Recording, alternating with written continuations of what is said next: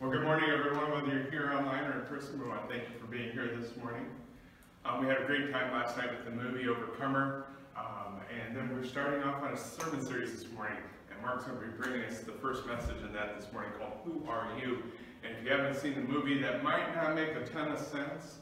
So if you have the opportunity to see the movie, if you'd like to watch the movie, we have a copy, and we provide to lend it out to you, so just let us know. Um, so some things coming up. Uh, through some prayer and discussion, uh, Mark and I were talking, and we're going to make some changes to Wednesday night for a little while.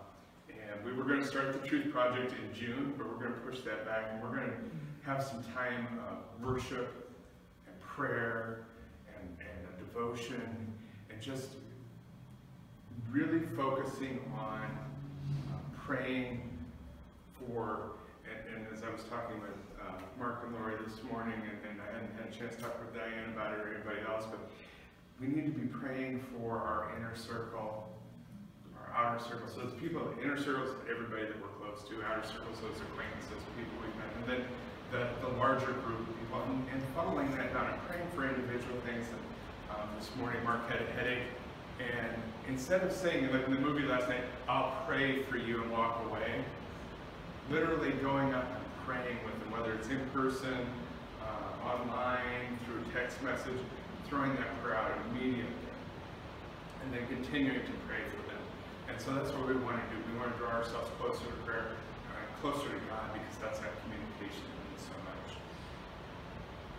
And then next Saturday, uh, starting at 9, we have the drop-off registration, 9.30 regular registration, and 10 o'clock we have racing horse track racing. So we're looking forward to getting that uh, running for May. It's hard to believe we are closing in on the halfway point of the season already, but we're almost there. And so we're looking forward to that as well.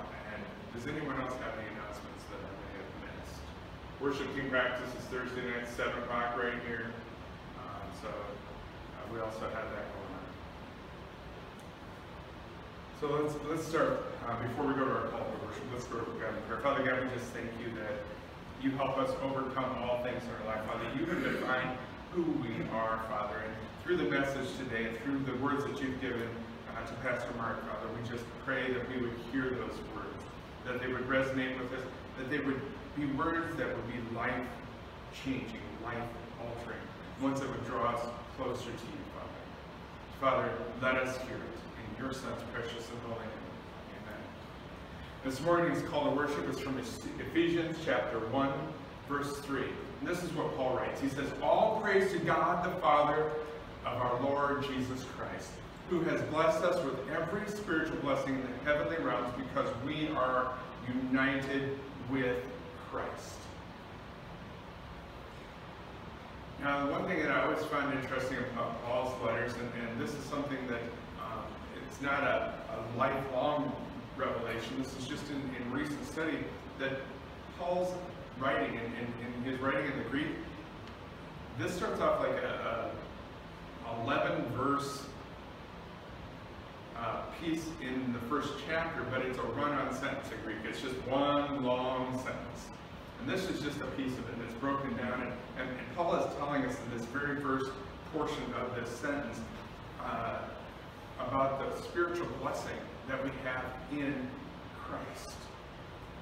And he's also telling us uh, through this that it's not just about the Jewish people. It wasn't just for the Jewish people. It's for the Gentiles for all of us. It's meant for all.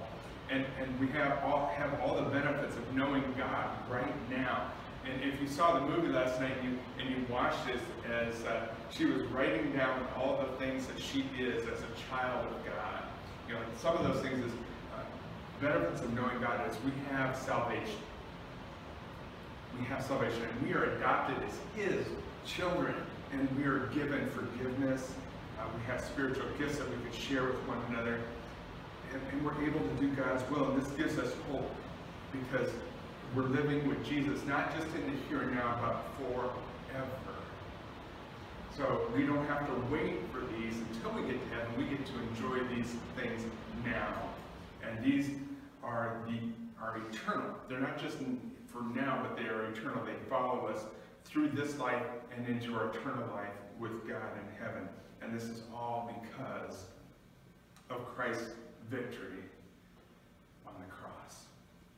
Father, we thank you for the victory that you gave Jesus on the cross, that he has taken our sins from us, and that through you we are defined, and, and we are who we are because of you, not because of anything in this world, Father.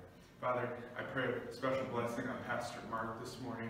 I pray a blessing on the worship team this morning as they uh, bring us into worship this morning.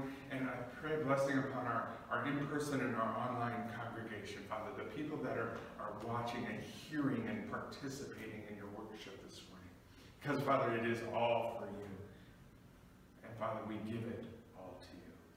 In Jesus' precious name, amen. Thank you, Pastor Terry.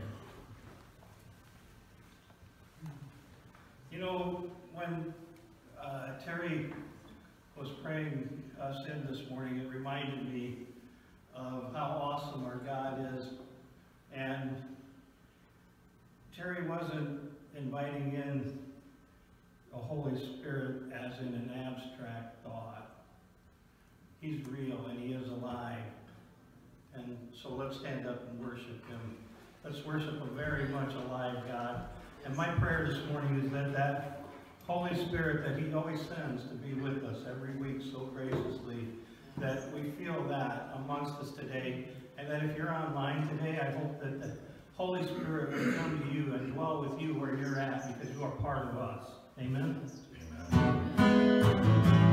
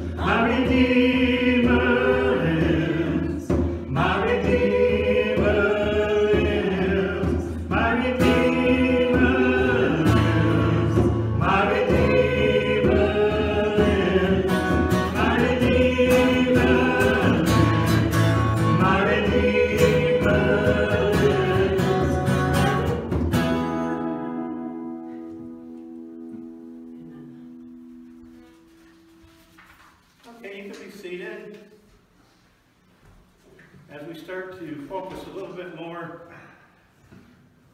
now on worship before the message, we'll, we'll bring it down just a little bit, focus on Christ, be ready for Mark's wonderful message. Who am I that the Lord of all the earth would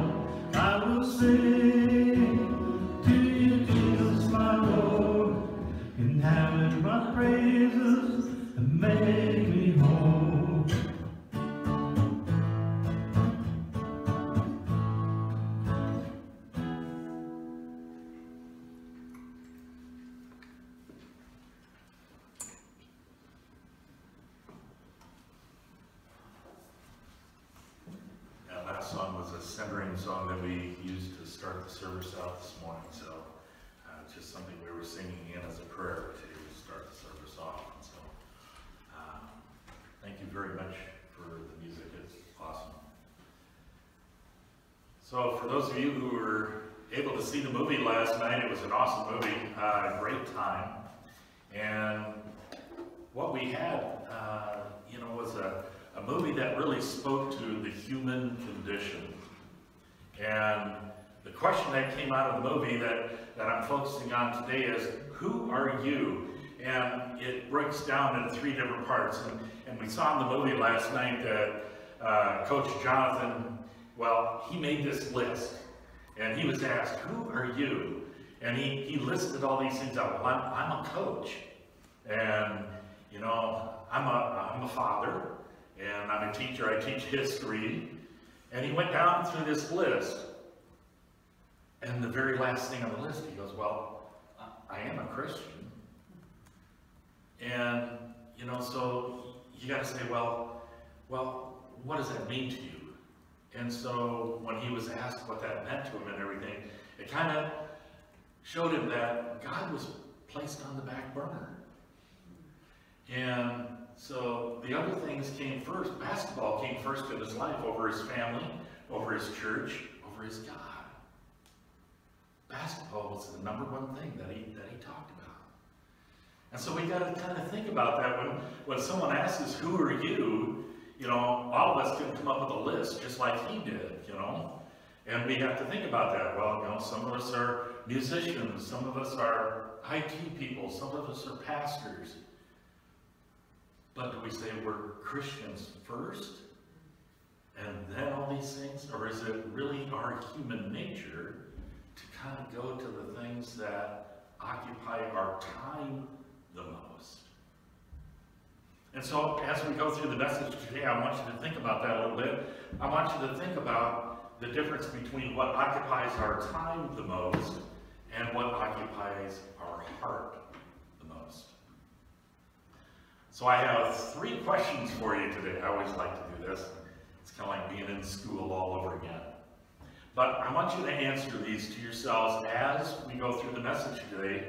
Who do you know yourself to be? Who do you know yourself to be? These are kind of deep questions. Question number two. Who does the world think you are? Who does the world think you are? And who does God know you to be? Pretty deep questions. See, a lot of this is we have a lot of facades that we have. We, we put on these faces, and man, there's a commercial on TV of the person holding up a little paper sign with a smiley face on it. It's for some drug for, I don't know what. I really don't pay attention that much.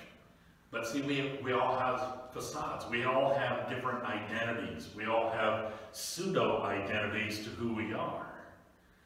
And so I want you to think about that last night. And last night in the movie, we saw a lot of different dynamics in motion. We saw a, a stable home environment and a stable family life that was intersected with an unstable one. Moreover, we saw how stable lives, that even though they could be turned upside down, they survived through all of the issues that were facing them, all of the problems that were facing them we saw that faith triumphed over fear. As most of the time, town was exiting and they were, they were thinking only one priority and they were only thinking of one thing. I need a basketball scholarship. I want to be on a winning team. And they all left. They all left their homes because that was the priority in their lives. So I have to ask you, who do you know yourself to be who does the world see you as you are? And who does God know you to be? These really hit home when we think about it. Because, see, those people, they all had pseudo-identities that were actually driving their character and who they were. So we also saw on that last night a wonderful transformation. And I thought it was fantastic. From being a child who had very, very low self-worth who felt rejected, abandoned, and was withdrawn and depressed, withdrawn into herself. And she transformed into this vibrant young woman. man, it was wonderful. I, I mean, I, I brought the tissue, tissues out, put them up here on the, on the uh, corner of the desk last night, because I figured if everybody else was like me, I didn't have dry eyes, and I figured other people didn't either.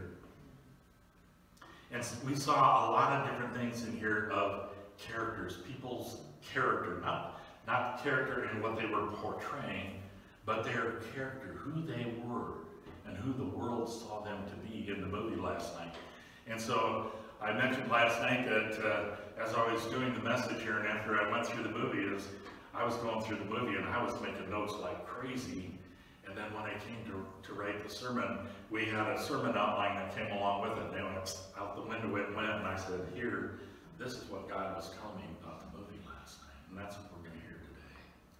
So we saw that character is, is a large part, a product of one's childhood environment and their relationship with their caregiver. Not necessarily a parent, in this case, but a caregiver. And see, we have to understand that adverse or hurtful circumstances growing up lead to that negative character traits that we saw, such as lying and stealing. And we witnessed that last night because of that low self-worth. They, they turn to things to try and, you know, kind of shore themselves up, make themselves feel good. So if they saw a shiny bottle or a, a watch or headphones or whatever, you know, they, they took that to try and make themselves feel better, to improve their self-worth. So this neglect and the condensation and, and spiteful language, they, they all cause and provoke low self-esteem. And children come to believe that their personal qualities and way of being are undesirable and worthy of reproach. And that's really, really dangerous because if they repress those traits and develop feelings uh, that are based on that, it becomes fear and remorse and insecurity. And these feelings, if they continue on into adulthood, if they don't change, they remain unchanged and unchecked, they can be very, very destructive. And it may lead to acting out against others and the inability to verbalize their emotions to other people. And a lot of times they become socially disconnected. And we call that condition sociopathic. And sociopathic, when you're thinking about someone who has sociopathic tendencies, you, you think about criminals and you think about people who act out against others violently. And so we have to be very, very careful to make sure that our children are not brought up in those types of environments, that they're not subjected to those things. When we have these traits present, they can lead to many forms of addiction, an attempt to numb down that feeling of inadequacy that they get. And so when we look at a lot of the people, and they've done a lot of studies uh, about these kind of things, and I, I worked with Foundation 2 Crisis Center, and uh, I was on their board of directors for many years, and I'm still a, a member of their board. Uh, I'm a director of emeritus for Foundation 2, and we do crisis, crisis counseling. And this was started back in 1972 because of the problems that the kids were facing in high school. And there was a group of uh, students from Kennedy High School and a group of students from Jefferson High School that went together to try and form a group to help the other kids that are struggling. And that's what Foundation 2 is. It has become today. And it's someone that can come in there and take kids that are, that are having a hard time and struggling with things, and it's there to build them back up and to give them the resources they need to change the negative behavior patterns that they kind of fell into. And so when we take a look at those kind of things, and we contrast that with someone who's had the ability to develop that good sense of character, their lives can be very, very, very different. See, good character traits include traits like loyalty, honesty, courage, integrity, fortitude. These are very important virtues that build that be behavior, that good behavior pattern that helps them become a very relative adult in later life. Other positive traits that have less to do with uh, things that we face in the world today, but those good character traits, those things that we have when we have a good character, we choose to do the right thing because he or she believes it to be the morally right thing to do at that point in time. It gives us that moral basis, and I talked about this a couple of weeks ago in my sermon, that our moral basis has been destroyed over the last 80 years. It's been in a decline the whole time. And as our moral basis for society declines, the number of people who find church being relative. But we noticed in the movie last night where we had a, a family that was centered themselves on good moral behavior that was based in the church, who prayed together, who ate dinner together, who played sports together. They communed with one another. You see, even though the fact that their lives got turned upside down, they went to God in prayer. They went to God in prayer. And what happened then? Lives were, didn't, none of those circumstances changed. However, if you notice, their attitude didn't go down. Their attitude didn't go down. They actually came in to support one another through everything that they were going through.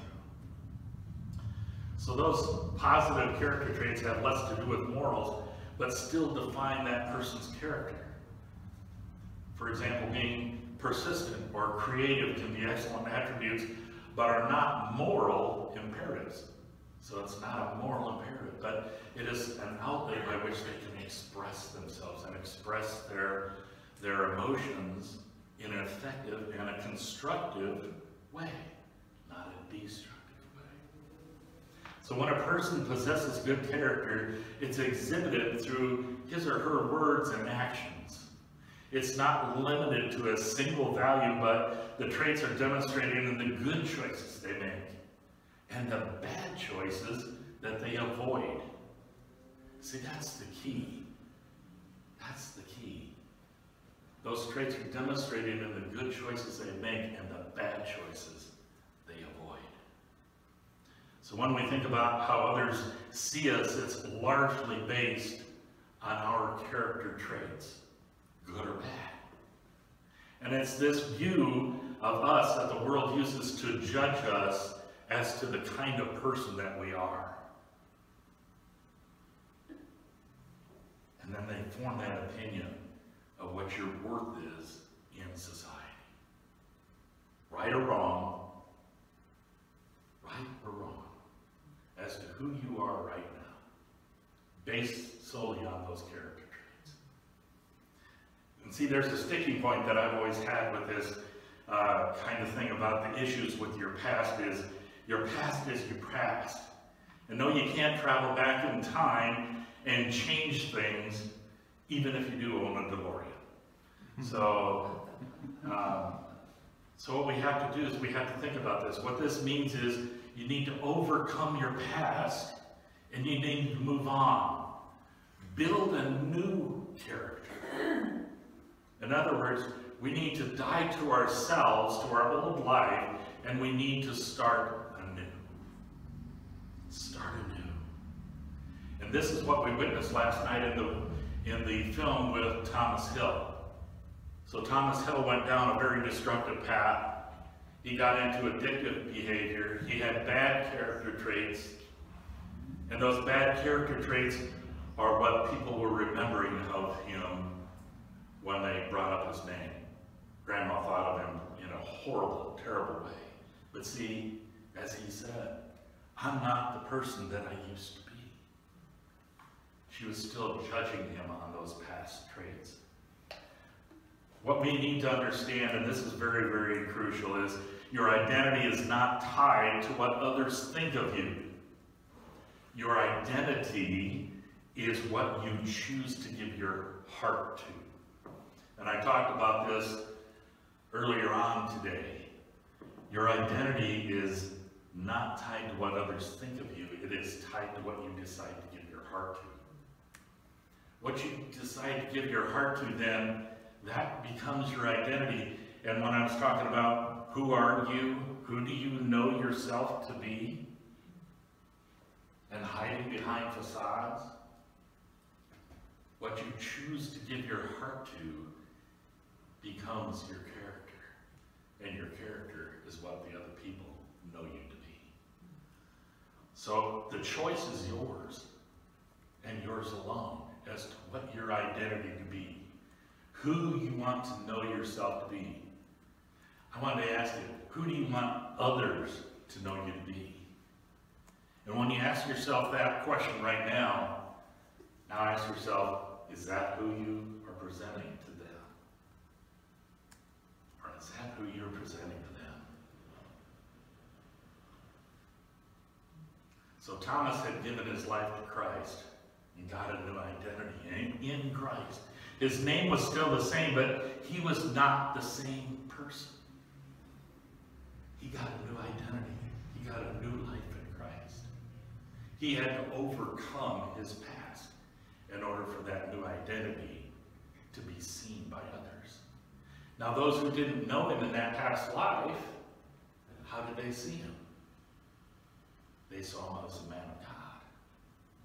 They knew his identity to be a man of God, a good man.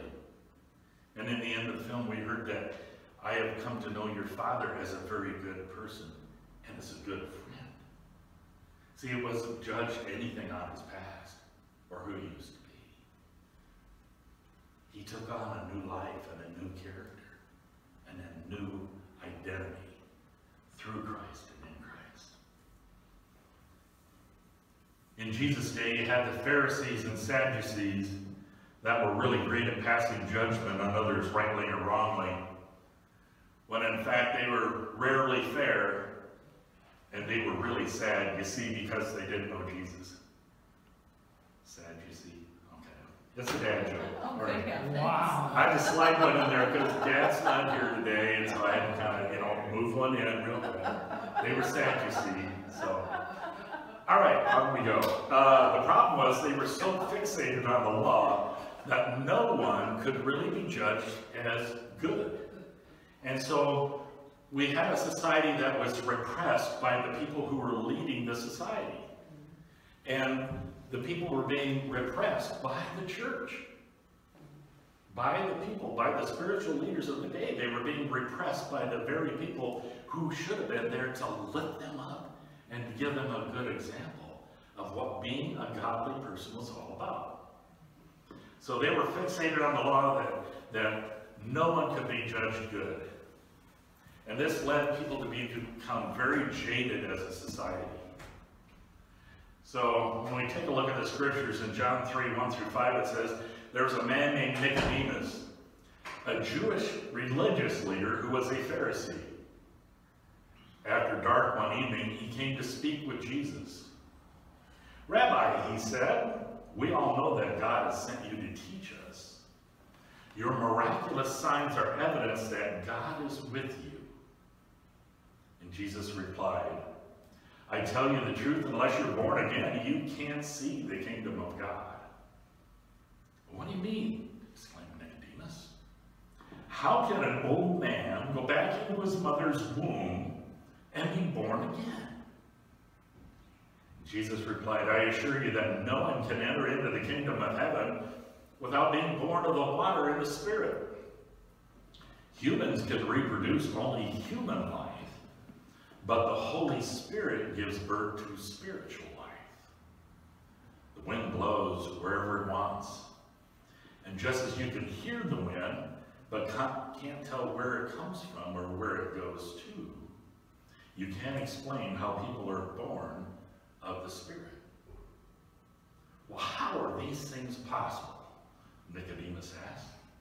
Well, the snake in the wilderness, replied Jesus. You're a respected Jewish teacher, and yet you don't understand these things? I assure you, we tell you what we know and have seen, yet you won't believe our testimony. But if you don't believe me when I tell you about earthly things, how can you possibly believe if I tell you about heavenly things? No one has ever gone to heaven and returned, but the Son of Man has come down from heaven. And as Moses lifted up the bronze snake on a pole in the wilderness, so the Son of Man must be lifted up so everyone who believes in him can have eternal life. Now, as we read this, if we don't really know the context around it, it might be kind of confusing. We might kind of stumble through this thing. But see what Jesus was saying, he says, you guys are so fixated on, on things you go through life blinders on, that even when you see the truth and you hear the truth, you won't believe the truth. You won't believe on these things because you're so fixated on these things. And that was the problem with the Pharisees, is they were so fixated on things that they didn't want to accept anything but what they knew. They were so fixated on that law. So what Jesus was referring to was comes from Exodus, and it was from the Exodus from Egypt. The natives were out there and they were growing restless and they started complaining about having to eat manna all day long out in the wilderness, out in the desert. And they were ready to return back to the mud pits in slavery rather than being thankful for God for providing for them and delivering them from bondage. So they started complaining amongst themselves and they decided they didn't want Moses to lead them any longer. So they take matters into their own hands and they just up and leave. Well, one evening, poisonous snakes entered into their camp and it started biting people. And they started dying. So they ran back to Moses. Now, understand, this is the guys that they were ready to leave. They didn't want to follow anymore. They were tired of all this. They were ready to go back into slavery. So they ran back to Moses and asked him to save us. So Moses prayed to God, and God said, Moses, here's what I want you to do, is I want you to form an image of a bronze snake and put it up on a pole. And then when anyone prays and gets bitten by a snake and looks up to that pole, they will be saved. They won't die. And anyone who doesn't look up to that pole will surely die. And so when, when Jesus was talking to Nicodemus, he was talking about that. And Moses prayed God and told him to fashion that snake and put it up there as a sign. They didn't know and understand that God was in control with them in the desert time, and the only way to be saved was by God. And it took an act of faith to be saved. Notice now that God didn't do away with the snakes. They were still there, and they were still biting people. But if they had faith and did what they were told to do, and look up at that snake, the very thing that was biting them and killing them off, he put that symbol of death up on a pole for them to look upon. And when they looked upon that, up on that pole, and they looked up and had faith that if they trusted in God, that they wouldn't die. Sound familiar? God wanted to have a relationship between himself and the people that showed that he was their God. And just because he released them from slavery didn't mean that they had a relationship with him. And he was trying to get them back on track. Get them back into that relationship. And see, in today's church, likewise, we have that today. That people think they're Christians because, well, I go to church and I fill a pew or a chair. I fill a pew or a chair. But see, that doesn't mean they have a relationship with God. The number of people claiming to be born again has never been higher than what it has been today, in today's numbers. Yet a poll taken among the so-called born-again Christians found that 28% of them believe that Jesus sinned just like they did when he lived here on earth. And one third of those claiming to be born again also believe that if someone was good long enough, they'd have a place in heaven just by being able to be good and do good deeds. See, maybe we just don't understand what it means to be born again. And it's very obvious that this is a very, very important fact because Jesus stated it outright in John 3, 7. You must be born again. And what that means is, it means that we have to shed that old life and we have to start a life dedicated to serving God. But we seem to miss that point. It's pretty easy for us to serve other gods in His presence. And so when we think about that, and we think about, you know, what are the things that come into your life first thing in the morning, and you wake up first thing and grab your cell phone and start going through social messaging? That could be a God in your life. Or you can't wait. You put everything aside to go home and see a TV show. Forget everything else. Whatever it happens to be, these things that will replace God in our lives as being the main thing, what we give our heart to, becomes our identity. If we're giving our heart to social media, we're allowing social media to drive our life and not God. If we give our heart to television or a show or whatever it happens to be, or basketball, or soccer, or whatever it happens to be, when we replace God in our heart, then that is what our character becomes, and that's what our life is going to be focused upon. And so God wants us to get back into that relationship from Him. So what did He do for those people stumbling around in the desert, complaining that He was giving them food in the middle of the desert every day to sustain them? Water coming from rocks in the desert? It's because they replaced God with selfish means.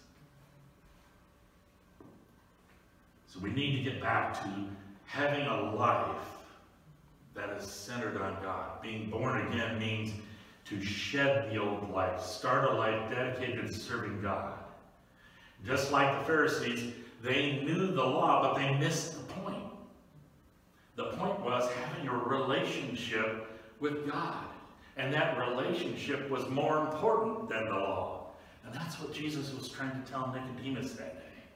And you notice that Nicodemus didn't come to him in the daytime when he was preaching in the public square. He came to him at night, so none of the rest of the people could see. But what did he do? He recognized the fact that God had sent Jesus by his miraculous deeds and his signs. And it was obvious to him that God had anointed him to do these things. Yet he missed the point, the entire point. So Jesus spoke these words to a man named Nicodemus who was a Pharisee. And we usually see the Pharisees, whenever you read the Bible, we see those Pharisees in a negative light. And, you know, I have to admit, Jesus leveled some of his most scathing words toward the scribes and Pharisees in there. He called them a brood of vipers, poisonous snakes. And among other things, he called them whitewashed tombs. Whitewashed tombs. He talked about how they majored on the externals, the law, completely missing the point about what the law was about. And the law was about being a godly people and serving God. But they missed that point completely.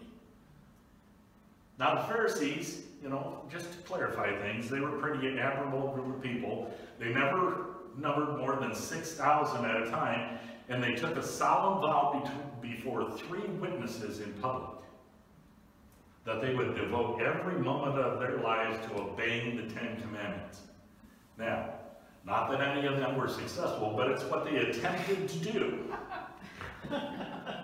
they took the law of God very seriously, but unfortunately they took it too seriously, and it caused them to be separated from God as a result.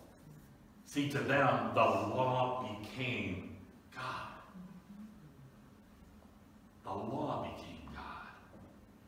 God sent Jesus into the world not to judge the world, but to save the world through him. We find that in John 3, 17. God sees us as his greatest creation. Who does God know us to be? He knows us as his greatest creation. The scriptures say we're fearfully and wonderfully made and that we are a child of the Most High God. Do we act that way? Do we act that way? Is that our identity? A child of the Most High God? Hmm. So I ask again, who does God know you to be? Because God knows our every move. He knows the number of hairs on our head before we.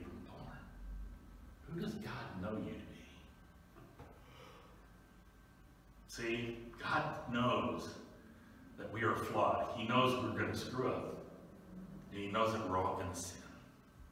Yet he sees us as Jesus sees us, with love and grace and mercy.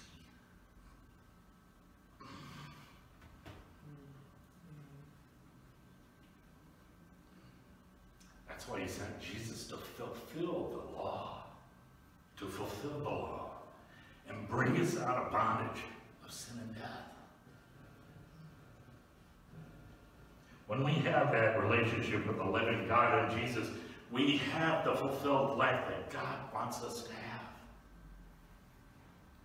He wants us to have that fulfilled life. And when we live out the life that Jesus has shown for us to live, we will not have a flawed character, but we will have a new life in him. We need to understand that we are all children of God. Hannah came to the realization that she was a child of God. She had worth. It transformed her life.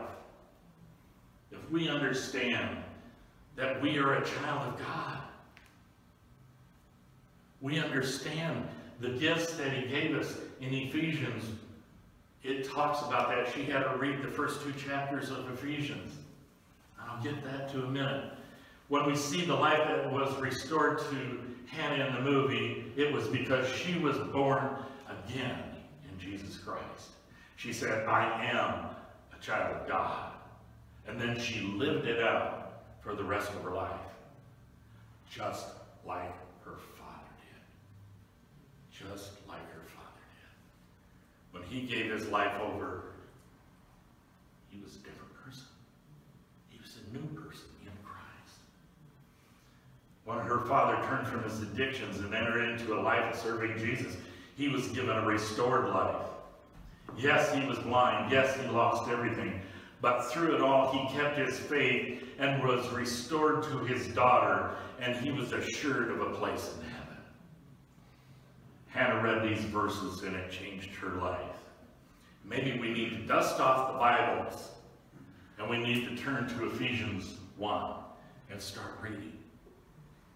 All praise to God, the Father of our Lord Jesus Christ, who has blessed us with every spiritual blessing in the heavenly realms because we are united with Christ. That was our call to worship today. Even before he made the world, God loved us. And he chose us in Christ to be holy and without fault in his eyes. God decided in advance to adopt us into his own family by bringing us to himself through Jesus Christ. This is what he wanted to do, and it gave him great pleasure. So we praise God for the glorious grace he has poured out on us who belong to his dear Son. He is so rich in kindness and grace that he purchased our freedom with the blood forgave us of our sins through the blood of his Son. He has showered his kindness upon us with all wisdom and understanding. God has now revealed to us his mysterious will regarding Christ, which is to fulfill his plan. And this is. At the right time, he will bring everything together under the authority of Christ. Everything in heaven and on earth, and furthermore, because we are united with Christ, we have received an inheritance from God, for he chose us in advance. And he makes everything work out according to his plan. So I ask you again, who do you know yourself to be? Tough one for me. Who does the world think you are? Who does God know you to be? Let us pray. Lord of unfailing love, you are good and faithful, overflowing with steadfast love. Our world is in crisis, Lord. We are in crisis, Lord.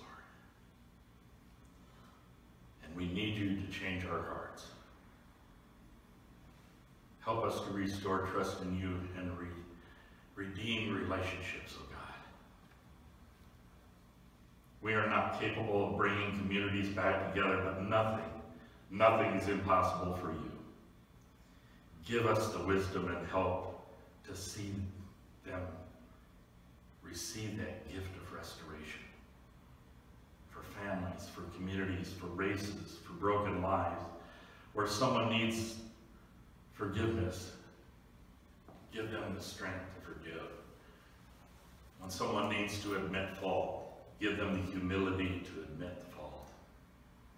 Embolden us today to reach out. Empower us to provide help and equip us today to be your hands and feet.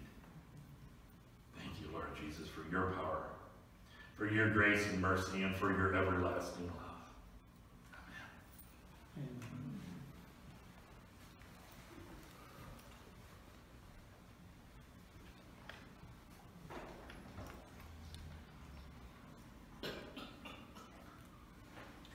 Would probably be better off if I had Bruce do this, but uh, a song came into mind as, as Mark was praying. It's just because you're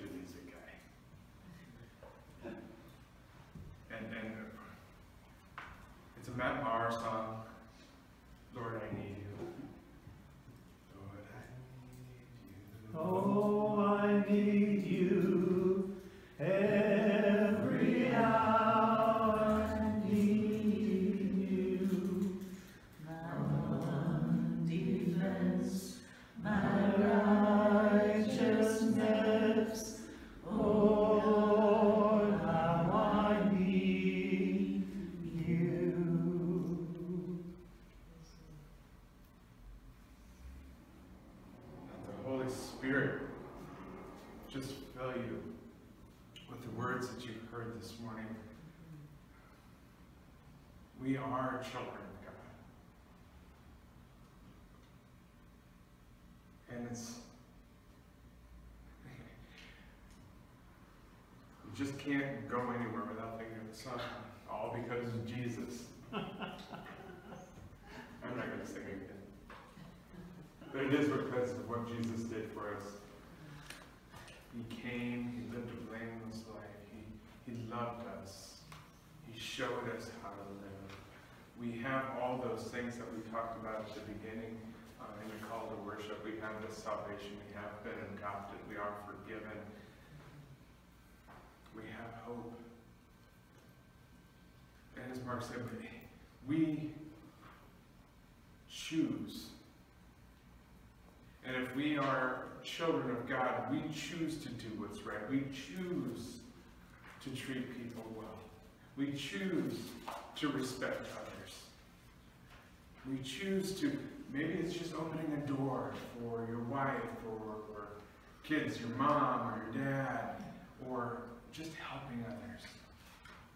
But it's about making a conscious decision to follow Jesus. And He will let the Holy Spirit work through you. We have to allow for that. And it started on the night that he was betrayed when he broke bread and he said, This is my body broken for you. Take and eat. In the same way, towards the end of the meal, he took the cup and he filled it. He said, This is the cup of the new covenant, my blood shed for you. And he's telling us that it's shed for our sins, that we are forgiven. That no matter where we've been, whether we have stolen, whether we have uh, been fighting with others, whether we have been incarcerated, whether we've done things in the dark that no one but God knows about, He forgives us for those things because of what Jesus did on the cross. As you take communion with this morning,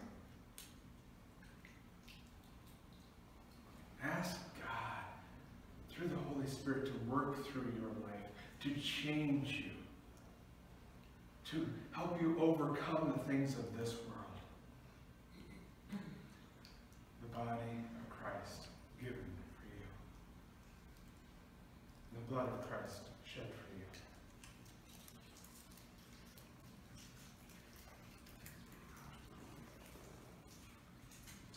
Father God, as we close out our time together this morning, as we close out this time of worship, Father, let us take the things that we have sung at the beginning of the service, add in the words that you gave Pastor Mark for us to hear this morning, and tie them into the music that we will close out, and let it be our offering to you. May it be pleasing to you, Father, but may it also change lives. In Jesus' name, amen.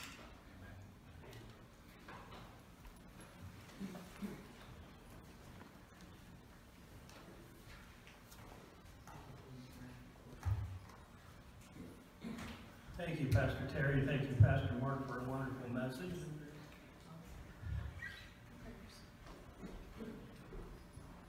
Gonna have Denise come up now and. Right. first. Yeah, I understand. Okay. I get it. I just didn't want her to forget. I know she didn't, she's all ready to go. Let's hear about thank you. Well, first of all, I want to thank all of you for all your prayers this week. Excuse me. Oh, okay. For all your prayers this week for Steve and I, um, as he went through surgery and, and we just know that God is in this. You know, we don't know what the outcome's gonna be, but he is with us. So, and I want to thank God that we belong to such a great group of prayer warriors. And, uh, and all the love and kindness you have all given to us throughout this time. And, uh, I just want to ask if there's anyone else need of prayer this morning. I want to pray for Denny for this week. I don't, I think you're gonna have some things going on this week, aren't you? Yes. Okay, and I know Becky was on Facebook with a, a leg and, and foot issue, and, and we're, we're grateful. Jamie, our sister-in-law, had surgery, and praise God, there's no cancer. So, what a great blessing. And, um, so this week, you know, you all kept me strong with all your prayers, and I'm so grateful. And it reminded me of Psalms one twenty-one, and I was gonna read that, but, um, while Mark was talking, the songs keep coming into my mind too. And the song we sang this morning, I just felt like I needed to read the chorus. And I know when you're sick and tired of being sick and tired, and it just, um, it feels like it's a never-ending thing. But God is, God is with us always. And it reminded me, it says, I am a flower, quickly fading, here today and gone tomorrow. A wave tossed in the ocean, a vapor in the wind. Still, you hear me when I'm calling. And Lord, you catch me when I'm falling. And you tell me who I am. So thank you, Father God, for this great blessing that you have bestowed upon each and every one of us. When we're in our, our times of need, when we're in our times of trouble, you are always with us. All we have to do is just look up and say a prayer. Just say, help. Help me, God. And you are with us. For you are amazing God. You, you hear everyone's prayer. You don't discriminate. You love unconditionally. And you hear each and every one of us when we call. For we are your children. You placed us here on this earth for a reason. And until that reason is over, we'll still be here. So thank you, Jesus, for your love for each and every one of us, Father God. And thank you for this church family that we love so much. In Jesus' holy name, amen.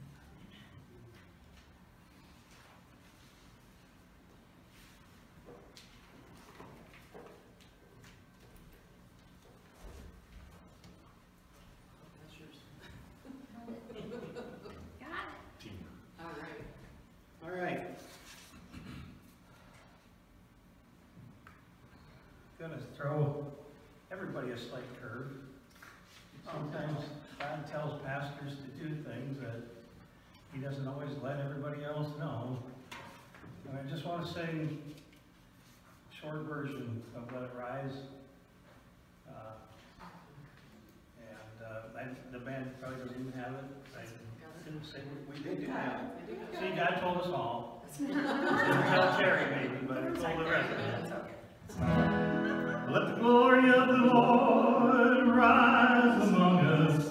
Let the glory of the Lord rise among us. Let the praises of the King rise among us. Let it rise. Let the songs of the Lord rise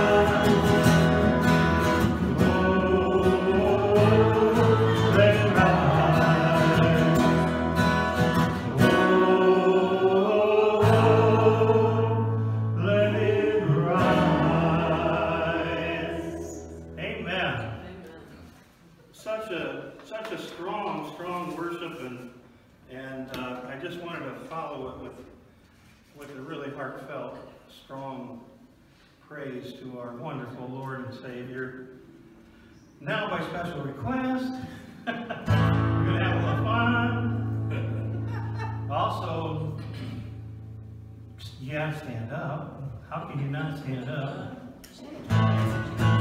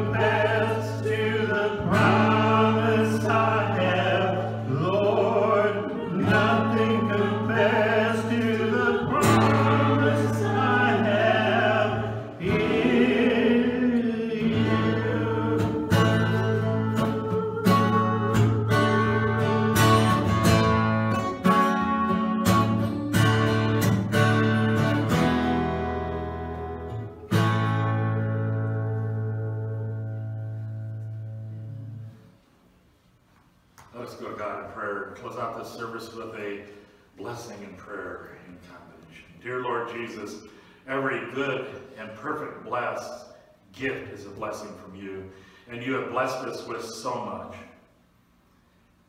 We had asked you that you would use us to be a blessing to others who are in need or facing difficulties.